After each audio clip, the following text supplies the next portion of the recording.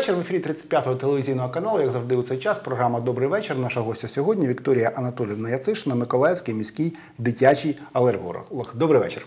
Добрый вечер.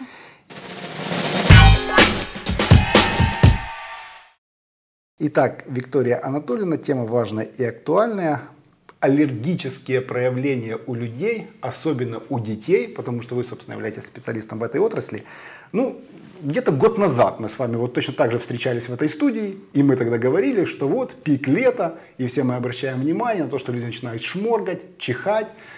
А, У меня такое, ну, как бы личное впечатление, возможно, оно ошибочное. Мне кажется, в этом году как-то вот меньше э, таких вот проявлений. Или я ошибаюсь? Что говорит статистика?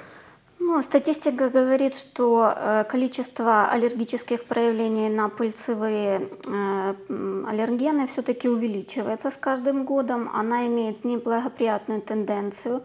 Мы стараемся выявлять их, э, соответственно, лечить эти аллергические проявления, даем возможность э, детям чувствовать себя лучше в период цветения, но, к сожалению, все новые и новые пациенты появляются с каждым годом. По статистике на один случай бронхиальной астмы до 18 лет приходится 5-6 э, аллергических ринитов, в том числе и э, полинозы так называемые, которые имеют Э, Этиологию – это аллергическая реакция на э, пы- пыльцевые аллергены. Э, Наш регион является неблагоприятным по поводу того, что это южная часть э, Украины, в которой на- э, очень много э, таких растений, как амброзия, полынь, лебеда, циклохена и культурное растение подсолнечник тоже в это время цветет и дает вот эту сенсибилизацию. В мире количество аллергических ринитов э, также неуклонно растет, имеет тенденцию к росту. А, И, соответственно, где-то э, в районе от 28 до 40 в разных странах э, ну, процентов людей страдают этими аллергическими за- заболеваниями. А, Бронхиальная астма – это более тяжелое заболевание. Оно тоже имеет э, этиологию, когда развивается сенсибилизация к пыльцевым аллергенам, э, но встречается немножечко реже по сравнению с аллергическими ринитами. По данным американских исследователей, состояние при аллергическом рините, общее состояние человека, а, страдает намного больше, чем при бронхиальной астме, потому что человек, э, который имеет приступ бронхиальной астмы, быстрее обращается лечебное учреждение, получает адекватную помощь, и, соответственно, он чувствует себя намного лучше. В то время как человек, страдающий а, аллергическим ринитом, он ходит с этим насморком, слезотечением, чиханиями, может э, страдать несколько месяцев или э, несколько лет и не обращаться в лечебное учреждение. Таким обр- образом, это приводит к тому, что это заболевание становится хроническим, оно затягивается, увеличивается количество пыльцевых аллергенов, к которому развивается сенсибилизация. И если вначале это было, допустим, пыльца амброзии, то уже к, через 4, 5, 6 лет это может быть 5-6 аллергенов. Об амброзии. Я помню вот очень хорошо, несколько лет назад просто такая была кампания по борьбе с этим растением, бигборды по городу, победим амброзию. Ну, сейчас мы бигбордов не видим, наверное, не до того. Вроде траву так косят, во всяком случае, по центру. Это помогает? Вот, собственно, вы практика, вы с этим сталкиваетесь бы? Ну, в наших условиях это мало э, помогает, потому что количество все-таки амброзии не уменьшается, она э, прекрасно себя чувствует в нашем регионе, у нас есть много места, э, где ничего не скашивают, потому что это частный сектор, это э, большие пустыри, территория, которая не относится ни к какому учреждению, поэтому там не штрафовать некого, ничего. Э, Где-то около э, полутора месяцев назад я приглашена была на комиссию гороспол- э, горосполком по поводу карантинного растения амброзии. А, К сожалению, у нас нет таких возможностей, э, чтобы было э, ну, частое скашивание, потому что э, амброзия – это растение, которое может прорастать в течение всего сезона цветения, в зависимости от того, где находятся семена. То есть в данный момент можно найти только-только проросшее растение и уже двухметровое, которое вы- выдает уже пыльцу. При скашивании остается корень, из которого пускаются новые стебли, но вместо одного там 5-6 штук. Поэтому оно достаточно красивое, цветистое. Многие люди считают, не считают это сорняком. Очень похожее на чернобревцы наши листочки, но цветы, такие как корзинки, имеют ну, не совсем противный запах, Э, желтенький цвет, мелкие, поэтому как на него очень мало обращают внимания. Самый эффективный метод борьбы с амброзией – это вырывание, потому что нет корень, корня и, соответственно, нету и в дальнейшем пыльцы. А, если же такой возможности нет, то это должно быть регулярное скашивание, буквально там 3-4 раза в месяц. К сожалению, это достаточно дорогостоящий метод. Ну, у вас выше прозвучало, я прошу прощения, вот мы все действительно акцентируем внимание на амброзии, но у вас выше прозвучали, вы перечислили растения, которые да. могут вызывать болезненные аллергические реакции. Там и подсолнух прозвучал, но подсолнуха-то у нас много сеется. Ну, такая Конечно. специфика нашего агрокомплекса южного, э, южноукраинского. Поэтому, ну, как минимум, от, этого, от этой напасти мы никуда не денемся. А, конечно. И э, дело в том, что цветение подсолнечника тоже, тоже распространяется от июля месяца до конца сентября в некоторых регионах, особенно у нас, потому что в зависимости от того, когда его посадили, это э, пыление достаточно длительное. Плюс еще дети имеют э, перекрестную аллергию с пищевыми продуктами, которые э, э, производятся из подсолнечника, те же семечки, подсолнечная масло, халва, которую мы используем достаточно широко, поэтому эти продукты желательно убрать из рациона ребенка, который имеет сенсибилизацию. В прошлом Я году... Прошу, вы вот говорите сенсибилизация. Ну, мы, мы не подготовленные. Вы простым языком скажите, о чем идет речь? Э, значит, э, э, аллергическая реакция состоит, всегда участвует иммунная система. При контакте с аллергеном на первый контакт никогда не будет никаких реакций. То есть, но в этом скрытый период иммунная система система распознает, что это такое, запоминает и вырабатывает вот такие белки, которые называются антителами. А при повторном контакте эти белки уже участвуют в реакции, и мы видим клиническое проявление. Если это а, аллергический ринит, это будет чихание, заложенность носа, слезотечение, покраснение лица, глаз и тому подобное, вплоть до бронхоспазма, когда э, человек может задыхаться. А у детей это бывает достаточно часто, потому что э, нос – это продолжение бронхиального дерева, и э, очень короткая трахея, короткие бронхи приводят к тому, что э, насморк не является угрозой для жизни ребенка. Родители на это не обращают внимания, но когда ребенок начинает задыхаться, они начинают бить панику. Ну, это, конечно, в некоторой степени положительно, потому что в таком случае родители обращаются к специалисту, они получают соответствующую консультацию, терапию, и это предотвращает развитие а, более серьезных осложнений. Так вот, я хотела сказать, что в прошлом году на аллерготестировании у него впервые появились трое детей, которые Э, от 3 до 4 лет имеют вот эту сенсибилизацию к пыльце амброзии и подсолнечника, очень выраженную. То есть это говорит о том, что все более-менее э, ранние возрасты подвержены влиянию тому, что вот нас окружает. А если 12 э, лет назад полинос был характерен для подростков, а 5-6 лет назад это все-таки были дети 6-7 лет – то сейчас уже более младшим возраст дает э, вот эти реакции. Я не удивлюсь, если мне через какое-то время будут приносить годовалых детей и говорить, мы имеем аллергию на подсолнечник или на амброзию. Что с этим делать? Поскольку ну, мы понимаем, амброзия есть, мы от нее никуда не денемся, тем более вы действительно так удачно описали ну, специфику этого растения, мы ее можем вырывать, она все равно будет расти. А, подсолнечник тоже мы никуда не денемся. Есть масса других растений, пыление которых вызывает болезненные реакции. А, как вести себя родителям, чтобы обезопасить или минимизировать влияние этих негативных факторов на детей?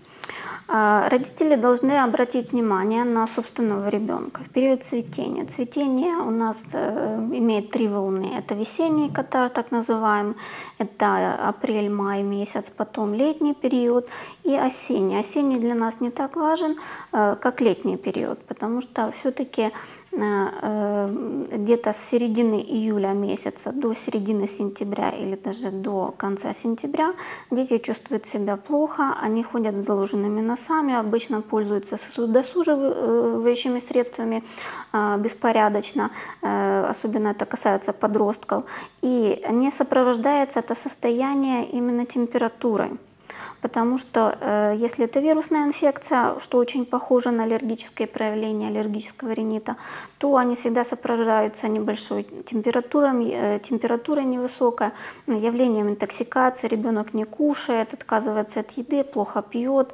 э, то есть вот такие проявления интоксикации. Аллергическая реакция, она не, про, не проявляется этими симптомами, то есть и мама должна заподозрить, если хотя бы в течение двух-трех лет это, эти проявления проявляются появляются а, именно в один и тот же сезон, нужно обратиться к специалисту. А, и тогда провести аллерготестирование, назначит вам терапию соответствующую, предложат или лечение фармакологическими препаратами, или специфической аллерговакцинацией. А, также родителям, которые имеют детей, склонных к аллергии. К сожалению, у нас первые проявления аллергии наблюдаются уже в грудном возрасте. Много детей обращается именно в этом периоде Э, и э, я их ставлю на учет, объясняю родителям, что обязательно хотя бы раз в год показывайтесь, когда ребенок даже э, хорошо себя чувствует, потому что иммунная система этого ребенка скомпрометирована. Он склонен к развитию аллергических реакций. И в дальнейшем к нему может присоединяться не только кожные симптомы, но и различные симптомы аллергических проявлений, в том числе аллергический ринит и астма. Родители, к сожалению, забывают об этом, не обращаются и приходят уже, когда имеем цветущие э, заболевания. Э, но это тоже не так страшно, как кажется. Э, в дальнейшем после аллерготестирования, выявления причинного аллергена назначается терапия, а также бытовые условия. Конечно же, нужны защитные средства для такого ребенка. Желательно, чтобы он ходил в одежде с длинными рукавами, а, с кепочкой или косынкой, если это девочка, защитными, солнцезащитными очками для того, чтобы пыльца не попадала на слизистую а, глаз. Э, желательно эм, не пользоваться кондиционерами и на окна занавешивать специальную ткань для того, чтобы она не пропускала пыльцу при проветривании. А, гулять лучше в тот период, э, когда э, пыльца меньше всего распространяется. Допустим, для амбрузии характерно выделение вот этой пыльцы именно в утренние часы. Это где-то с 3 утра до 9 утра. Э, пик 8-9 уже, конечно, снижается. А, к тому же, допустим, э, подсолнечник, он дает нам больше э, в дневной период. Это где-то с 11 до 4 утра, э, дня. Поэтому лучше в этот период как бы не гулять с ребенком, если это маленький ребенок. Если есть возможность покинуть регион, где больше всего цветения, вот у нас есть регионы Западной Украины, где нет амброзии, нет подсолнечника. Можно на самый пик, это август месяц, поехать туда отдыхать. Э, желательно, конечно, обратиться за помощью до начала каких-то клинических проявлений.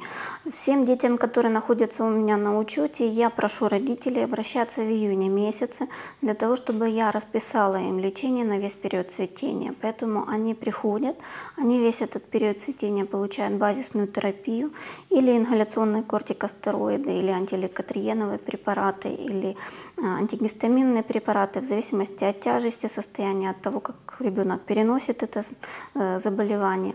И таким образом они защищены, они могут э, выполнять свою функцию, они э, учатся, посещают детское учреждение, лагеря, едут на море и так далее, и у них нет этих проявлений. Я прошу прощения, а вот если мы говорим, например, о подсолнухе, какое расстояние? Ну, мы же понимаем, что подсолнух в черте города, как правило, не растет, но уже вот там, я не знаю, там терновка, корениха, вот там уже он растет. Вот эти вот расстояния, скажем, от места посева и произрастания до где пыльца может действовать. Речь идет о нескольких метрах, либо сотнях метрах, либо километрах. Но если это поле с подсолнечником, то пыльца, концентрация ее э, увеличивается, конечно, чем ближе к полю.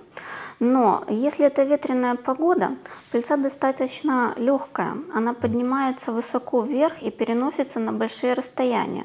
Было исследование, когда была определена пыльца амброзии на расстоянии 20 километров от берега. Поэтому э, по подсолнечнику не проводились такие исследования, но учитывая, что э, пыльца э, подсолнечника всего в два раза больше, чем амброзия, то я думаю, что на большие расстояния. Тем более вокруг города у нас растет подсолнух, но сам в черте города люди все равно себя плохо чувствуют. То есть если это сухая ветреная погода, то э, где растет подсолнух, значения не имеет. Э, он все равно будет здесь. Еще один момент. Аллергики, они, конечно, реагируют на количество пыльцы, потому что чем больше, тем будет сильнее реакция. Но для них, в принципе, это не столь важно. Если будет даже небольшая концентрация пыльцы в воздухе, они все равно будут их ее чувствовать и будут давать аллергическую реакцию. Поэтому э, здесь имеет значение не только экономические вопросы, там, решение вопроса э, садить подсолнух, не садить, в каком количестве. Имеет значение еще и профилактические мероприятия, которые должна проводить сама семья. А, если ребенок уже в грудном возрасте имеет проявление а, аллергии, то в 90% случаев э, это дитё в дальнейшем будет быть, может быть каким-то аллергом по другим вопросам.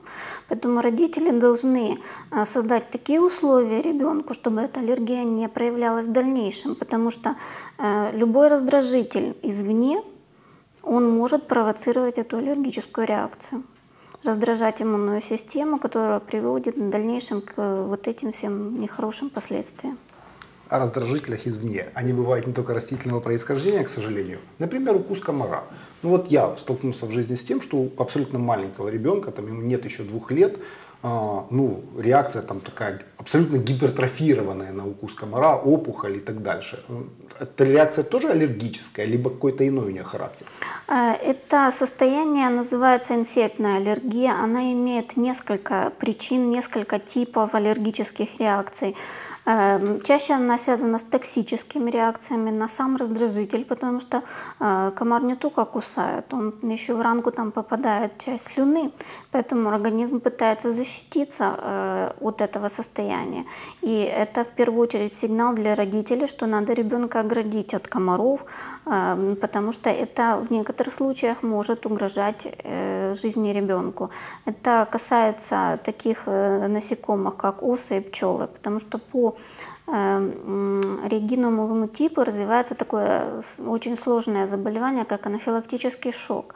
И он угрожает жизни любого человека. Чем чаще эти насекомые кусают человека или ребенка, тем быстрее вырабатывается вот эта э, реакция анафилактическая, которая может привести к смерти пациента. А, у некоторых детей инсектная аллергия наблюдается до определенного возраста, это может быть 3, 4, 5 лет, потом она исчезает, и они нормально переносят укусы комаров. Она связана больше с состоянием иммунной системы, потому что до 18-20 лет наша иммунная система меняется в зависимости от возраста, она имеет тенденцию к таким э, как бы возрастным изменениям. Первый э, период очень важный, это период рождения ребенка, а потом э, до года жизни очень важный момент, потому что там совершенно другие иммунные реакции, никогда в жизни не встречающиеся. В дальнейшем это 5-6 лет, ну, когда изменяется конфигурация клеток крови. И, и очень важным моментом является подростковый период. Тоже э, он растягивается от 12 до 16-18 лет у некоторых подростков, когда иммунная система перестраивается. А, конечно, родители должны на это обращать внимание, обратиться за помощью, потому что в зависимости от того, куда укусил комар, мы будем иметь неблагоприятные вещи. Допустим, если это голова, шея, э, это может в некоторых случаях даже угрожать жизни э, ребенку. К тому же вот эти укусы могут инфицироваться, потому что комары кусают не одного человека, а нескольких. Э, они могут переносить какую-то микробу или грязь. Э, вот, и, э, соответственно, ребенок будет иметь какое-то нехорошее состояние. Но особенно пугаться не стоит и обязательно обратиться за помощью. Вы получите ее в любом учреждении медицинском в дальнейшем стараться избегать контакта. Для этого используются специальные крема а, от комаров, а также эм, инсектициды, э, но желательно только в открытом помещении, чтобы ребенок меньше дышал вот этими вещами. Хорошо. А, ну, вот мы говорим, о том, мы говорим о том, что летний период, такой вот активизация. А, что нужно знать и делать, может быть, зимой, чтобы летом все это переносить легче? Э, Я не знаю, в конце концов, бытовая пыль, ведь она тоже являет, имеет некое аллергическое действие? Конечно, конечно. Э, где-то в нашем регионе 50 на 50 аллергических ринитов имеют э, сенсибилизацию к пыльце и 50% к домашней пыли. Но домашний, на домашнюю пыль чаще всего развивается такое состояние, как бронхиальная астма. Это особенно у детей, потому что э, с домашней пылью дети контактируют чаще, постояннее. Она имеет еще особенность, у нас есть э, клещи домашней пыли, они микроскопические, поэтому э, легко попадают в воздух, э, вместе с воздухом попадают в легкие, вызывают вот эту вот сенсибилизацию. К тому же аллергенами являются животные, очень сильным аллергеном являются кошки домашние, питомцы. Иногда стоит вопрос, э, куда деть кота или собаку или попугая, потому что есть аллергическая реакция у ребенка. Может, нужно задавать вопрос, зачем его заводить? Да, но э, из опыта, э, как бы, если животное появилось до рождения ребенка, то оно, в принципе, не вызывает аллергической реакции. Но если после рождения, желательно, конечно, избавиться. Э, ну, я же говорю, что к шерсти кошек очень большая сенсибилизация, очень сильная, и это заметно. Даже сами родители говорят, если ребенок заходит в помещение, где живет кошка, то сразу чихает, кашляет, иногда даже задыхается. А, конечно же, э, в период э, зимний для полинозников важно обратиться в лечебное учреждение, провести аллерготестирование потому что в период цветения я аллерготестирование не провожу а, из-за того, что могут быть самые различные реакции. Мы проводим тестирование с этими же аллергенами, которые вызывают это состояние, а также с другими бытовыми а, аллергенами, аллергенами наших животных. И э, в дальнейшем я рекомендую пациентам ту или иную терапию. У нас есть э, такое направление, как специфическая аллерговакцинация. Подобное лечится подобной. А, эти аллергены в микродозах вводятся в организм и вызывают развить, выработку блокирующих антител. Таким образом, эти антитела сохраняются в организме ребенка, они перекрывают рецепторы и при контакте с аллергеном а, у ребенка не появляется чихание, кашель, не появляется э, бронхоспазм. Это состояние может э, длиться от 5 лет и больше. Во время исследования было доказано, что аллерговакцинация дает ремиссию в некоторых случаях больше 20 лет. То есть человек абсолютно нормально себя чувствует, он живет повседневной жизнью, не принимает никакие лекарственные средства, но при этом контактирует с аллергенами, они выдают аллергическую реакцию. А Просто мы постоянно сталкиваемся с тем, что в нашем обществе вообще существует некое подозрение и предубеждение к вакцинированию детей. Ну, мы на, на самом деле ведь это так. Да, а тут да. вы предлагаете еще дополнительное а, вакцинирование. Это метод назван вакцинацией, потому что э, он похож на вакцинацию, но он работает совершенно по-другому. Э, мы вырабатываем антитела. Если мы вырабатываем какой-то тип э, антител, это вакцинация. То есть сам метод так называется. Этому методу уже больше ста лет, и он достаточно распространен в мире. То есть это не сегодня выдумывали не вчера, но э, там технология совершенно другая. Там э, этот метод э, минимум три года используется. То есть человек сначала он наращивает дозу э, этих э, микродоз э, аллергенов, а потом э, поддерживает в течение двух-трех лет, поддерживает ее для того, чтобы эти антитела закрепились чтобы они были. А я прошу прощения, а взрослый состоявшийся аллергик может, может идти по этому пути? Или... Конечно, конечно. Э, обязательно, то есть э, очень широко используется в начале, этот метод использовался именно для взрослых и для лечения бронхиальной астмы, пыльцевой, аллергического ринита. Э, но учитывая, что инъекционный путь, когда делают подкожные инъекции, для детей достаточно болезненные, то в нашей стране были придуманы дрожжи крупные такие конфетки сладкие, в которых накатан этот аллерген, ребенок с удовольствием его рассасывает, потому что это сладкое, и, соответственно, получает еще терапию. Э, противопоказаний очень мало, всего несколько. Это относится к иммунодефицитам, когда ребенок не в состоянии выработать какие-либо антитела к онкологическим заболеваниям и острый период заболевания любого. То есть там вирусная инфекция, пневмония, естественно, мы ничего не делаем. Хорошо, вот так же не могу не спросить. А, если в семье ну, кто-то из родителей аллергик, либо оба родителя аллергики, а, у ребенка есть шанс не получить это наследство? А, по исследованиям, если один человек в семье из родителей болеет, то может быть 20-30%. Если мама, это до 40%, в некоторых случаях даже больше. А если оба родителя, то это 60-80% возрастает. Для мамы это имеет особое значение. Если мама э, страдает аллергическим заболеванием, и обострение приходится на последний триместр или на э, период кормления грудью, то вероятность того, что у ребенка иммунная система будет работать по аллергическому типу, возрастает в несколько раз. Поэтому э, мамы, прежде чем э, беременеть или планировать беременность, они должны подлечиться сами, привести свое состояние э, иммунной системы в ремиссию. И дальше вероятность развития аллергического заболевания у ребенка меньше. То есть э, есть различие между наследственностью и уже как бы воспроизведением самой аллергической реакции. Э, предрасположенность к аллергии передается по наследству от родителей – но каждый пятый ребенок не имеет отягощенной наследственностью, то есть ни папа, ни мама не страдают аллергическим заболеванием, даже дедушки, бабушки не страдают.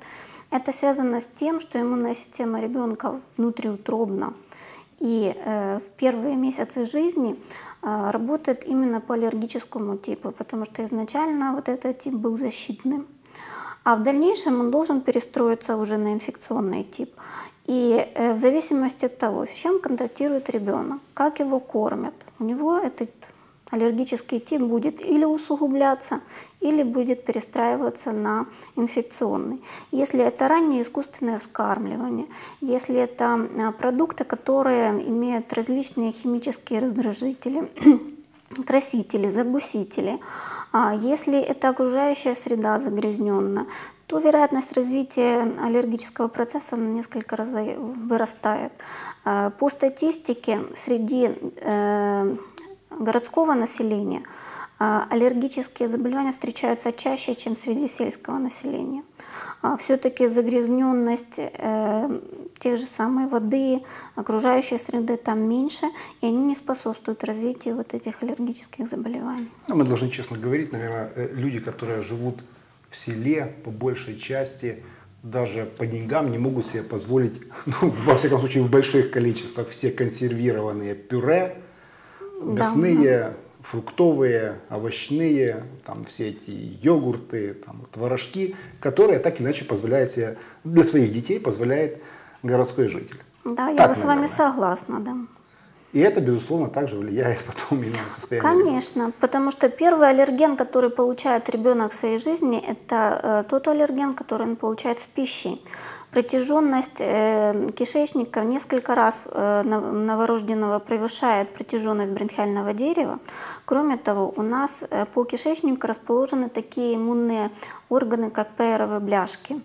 А, в них созревают лимфоциты, они выполняют свою функцию в виде первичного контакта с аллергеном, поэтому огромное имеет значение пищевая аллергия. И первые проявления пищевой аллергии – это кожное высыпание, это покраснение щечек, как мама там, вот у нас там что-то обсыпало или еще что-то. Это э, иногда они затягивают, там пытаются что-то сами лечить и приходят ко мне, когда ребенок уже обсыпан весь, он шелушится, ему, он беспокойный, потому что его все это зудит. А, если такое состояние появилось, не затягивайте, не ждите месяц, два, три месяца, может пройдет. А, лучше обратиться к врачу, подкорректировать диету мамы или поменять смесь. И таким образом вы облегчите состояние ребенка и не будет развиваться в дальнейшем аллергическая реакция у него. Хорошо. Подводя итог разговору, ну, может быть, у кого-то из наших зрителей возникла необходимость или мысль о том, что необходимо, может быть, пойти и проконсультироваться со специалистом. Где вас можно найти, как вас найти, как найти ваших коллег? А, я работаю в городской детской поликлинике номер 4. Наш адрес э, улица Чкалова, 93. А, можно записаться по телефону 24 91 30 в рабочее время желательно, а, э, потому что я э, веду прием по записи предварительной. К сожалению, многим мамам ну, нужно объяснить, что это за состояние, чем оно угрожает. Они записывают у меня диету диету, уход за ребенком и тому подобное, потому что э, не столько важно э, лечение как таковое, сколько важно э, как ребенок э, живет в этих условиях, потому что мы должны создать ему такие условия, чтобы контакт с аллергеном был минимизирован и не было новых аллергенов в его жизни. Если ребенок э, контактирует в начале своей жизни и дает аллергическую реакцию на 1-2 аллергена, то на протяжении 5-6 лет это может возрасти до нескольких аллергенов. И когда я провожу тестирование 5-6-летним детям, мы имеем аллергическую реакцию на 8, 10, 12 аллергенов одновременно. То есть это уже поливалентная аллергия. А, это намного сложнее лечить по сравнению, если ребенок реагирует на 1-2 аллергена. Ну, то есть фактически мы должны призвать родителям, родителей быть внимательными к своим детям. Конечно. Собственно, і к себе теж. Вікторія Анатолійовна Яцишина, Миколаївський міський дитячий алерголог, була нашою гостею та відповідала на наші питання. Дякую, найкраще успіхів вам. До побачення.